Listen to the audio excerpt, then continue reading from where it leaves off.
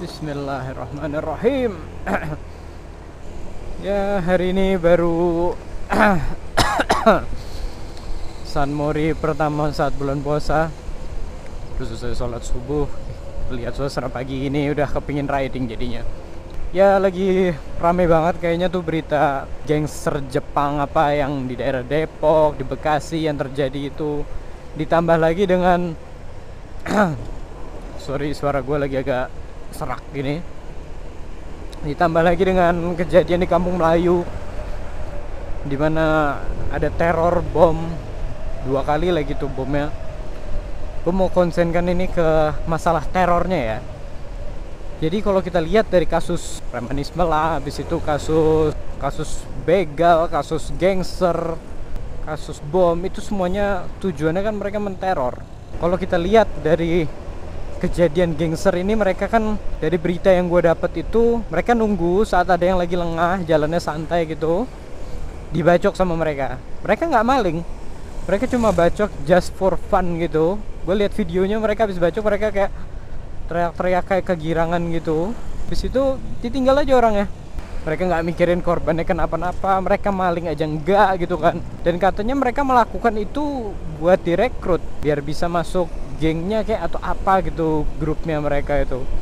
Yang gue dapetin dari video dan foto-fotonya tuh mereka semuanya masih jauh di bawah umur. SMP malah ada yang kayak SD gitu.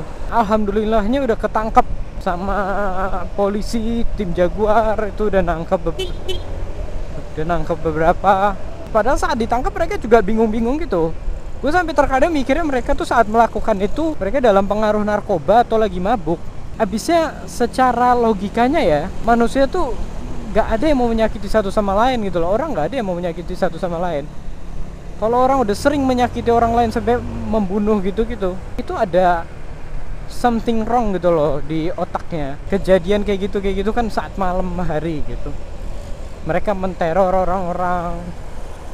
Dan mereka melakukannya sampai kayak lagi main di taman sama teman-temannya yang nggak bakal kenapa-napa orang lain itu kejadian di kampung Melayu di mana orang bom bunuh diri sampai korbannya tiga orang ya kalau nggak salah ya. Korbannya meninggal tiga orang luka-luka banyak. Apa apa tujuannya gitu loh? Ya Allah ya Robbi kalau gue lihat yang kejadian-kejadian gitu pelakunya pasti sudah kayak dicuci otak gitu loh. Motivasinya apa untuk melakukan hal seperti itu kan?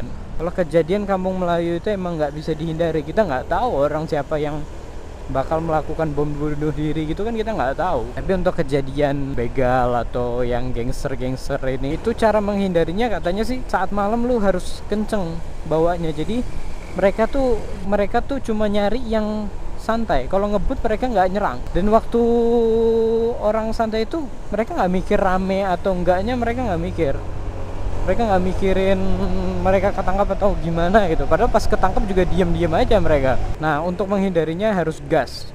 Gas terus selama malam tuh. Habisnya mereka sendiri nggak kelihatan. Mereka sembunyi-sembunyi kan. Saat kena pun orang mau bantuin ngeri. Semuanya megang senjata loh coy.